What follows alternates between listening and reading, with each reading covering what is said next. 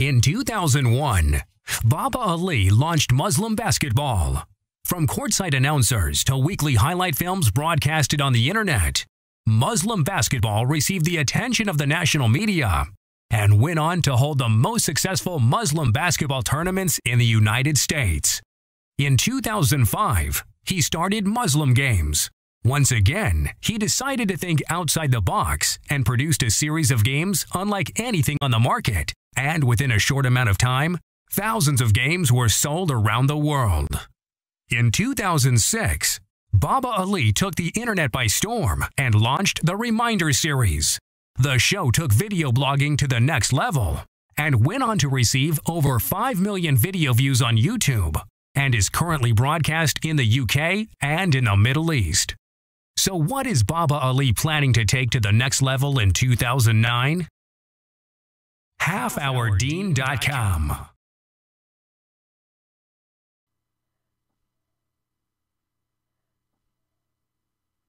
Every time I go to an Islamic conference, the one topic that keeps coming up over and over again is marriage. If you want to fill up a room with hundreds of people, just do a topic about marriage and the people will come. Not only will they come, but they'll pay attention too. You see, since there's no boyfriend-girlfriend relationship in Islam, people want to get married. I usually have a booth at these conferences to sell my products, which gives me the opportunity to interact with a lot of people and hear their interesting stories. Sometimes single brothers hang out at my booth and tell me how hard it is to find a good sister. At the same time, you'll see sisters at the same conference claiming they can't find a good guy. So there's all these guys and all these girls and they all want to get married, but they all claim there's no one to marry. What's wrong with this picture? I'm not sure, but maybe it's because... Some guys are looking for a girl who is pure, beautiful, wears hijab, beautiful, has a strong deen, and looks like a model. So why are these guys still single? So why are these guys still single? Because they're living in a dream world. Dream world. Just let you know, there's no perfect Muslimah. And girls aren't photoshopped, they're real. On the other hand, some women are looking for a man who is handsome, wealthy, religious, wealthy, has a sense of humor, and is extremely wealthy. Single sisters, you're living in the same dream world as you single brothers. Let us move on to phase two. The dowry. When a guy asks a woman's hand in marriage, she has a right to ask for whatever she wants as her mahar. but some girls have this funny thinking that their mahar shows their value. They think the higher the mahar, the more the worth. I don't think so. Fact is, the lower the mahar, the more barakas in your marriage. Some families take advantage of their daughters getting married. So when a successful brother comes along, they don't see the brother. They see dollar signs. Ching ching, ching ching. We are cashing in. Ching ching. Did you find out what she wants? Here, where? Okay. $75,000 for her? A convertible for her father? New granite kitchen counters for her mother? Jet skis for her brother? Jet skis? Jet skis? oh, why am I laughing? because this is funny. Yo, you say I'm funny? You say my videos are funny? No, man. this right here, this is funny. Joke! Joke! Am I marrying the sister or am I marrying her family? Sisters, your mahar isn't your price tag. It's a gift you ask for marriage. If you really want to get married, ask for something realistic. Otherwise, you'll be waiting a very long time before someone calls you Habibti. Next thing you know, you're at the 40 plus single sister tea party talking about how you're waiting for Brad Pitt to convert to Islam, leave Angelina, and knock on your door.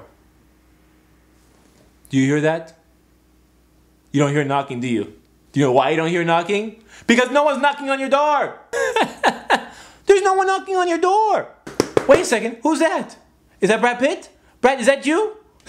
it's not Brad Pitt, it's me. I'm here to wake you up. Get out of your dream world and come up with a realistic mahar if you want to get married. Do you know what I'm saying? Hello? Are you there? Please don't tell me you're still dreaming. Come on!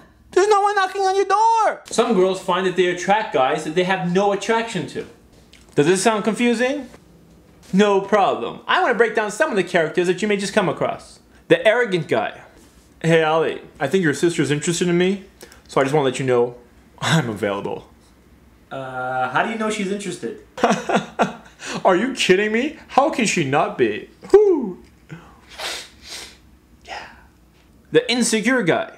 Hey Ali, I was wondering like if your sister was interested in marrying someone because I know someone that might be interested in her and uh, if you can find out for me that if she was interested in him, um, like for example, like pretend like it's like me, and if if um, yeah, um, if she's not interested in me, I'm just joking.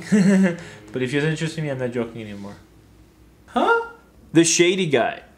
Hey Ali, what's up, my main man? What's up, my main man? Hey. Guess what? Having a brother-in-law like me is gonna get you some nice things. Oh, I get discounts, discounts, discounts. Not only do I talk fast, but I deal in cash. Cash, cash, cash. Cold hard cash if you got it. Fantastic, great. Ali, Ali, Ali. Guess who's your brother-in-law? Me, me, me, me. But not yet. But don't count your chickens before they hatch. But if you do, guess what? You got Ali. Who has the business plan and talks as fast like this, like this. I deal with cold hard cash and do all that, and everybody knows that. And that. Ali. You gotta get the message across, baby. You gotta say, yeah, that's the guy I want my brother-in-law.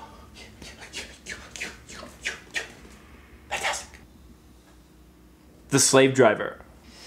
I'm interested in someone who loves to do laundry and wash dishes because not only will she be doing it for her husband, but she'll be doing it for my parents as well. I don't even know who you are. It is not important who I am. What is important is I need my home and office to be vacuumed and cleaned twice a week, my laundry done once a week, and I want my food cooked every night. I'm, I'm confused. She'll be directing all her answers and all her questions to her immediate supervisor, my mother. Okay. Are you looking for a wife or a housekeeper? My wife is my housekeeper.